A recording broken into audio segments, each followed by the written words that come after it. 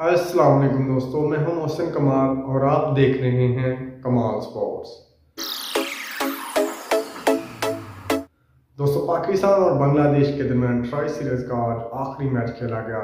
इसके बाद फाइनल खेला जाना है कल पाकिस्तान और न्यूजीलैंड के दरमियान।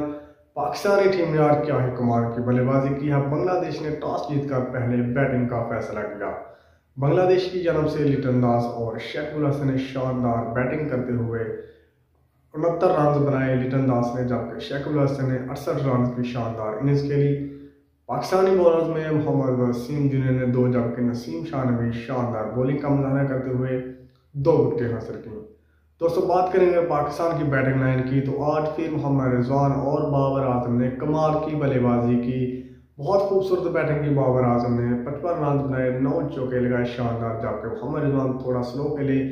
लेकिन उन्होंने भी एक जिम्मेदाराना और अच्छी इनिंग्स खेली और क्या ही कमाल की बल्लेबाजी की है आज मोहम्मद नवाज़ ने। 20 गेंदों पर पैंतालीस रन बनाए चार पाँच चौके और एक ज़बरदस्त छक्का भी उनकी इनिंग्स में शामिल था। पाकिस्तान के हैदर अली नाकाम हुए सिफर पर हुए और आसफ अली ने दो रन बनाए और पाकिस्तान भी मैच जीत गया। पाकिस्तान ने ज़बरदस्त बैटिंग करते हुए बांग्लादेश को बसानी इस मैच में शिकस्त दी। आगाज़ बहुत ही शानदार फराम किया बाबर आज़म और मोहम्मद रिजवान ने।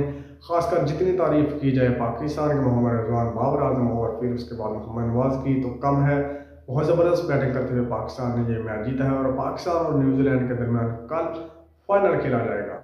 दोस्तों, आपको क्या लगता है, पाकिस्तानी टीम कल ये मैच फाइनल जीत कर वर्ल्ड कप का आगाज़ अच्छे तरीके से करेगा? दोस्तों, आप लोगों ने कमेंट बॉक्स में ज़रूर बताना है। पाकिस्तान और न्यूजीलैंड में से ट्राई सीरीज़ का फाइनल कौन सी टीम जीतेगी? दोस्तों, वीडियो अच्छी लगी है तो वीडियो को लाइक और चैनल को सब्सक्राइब ज़रूर कीजिएगा। बेल आइकन को प्रेस कीजिएगा ताकि आइंदा भी हर वीडियो का नोटिफिकेशन आपको बर वक्त मिल सके। अल्लाह हाफिज़।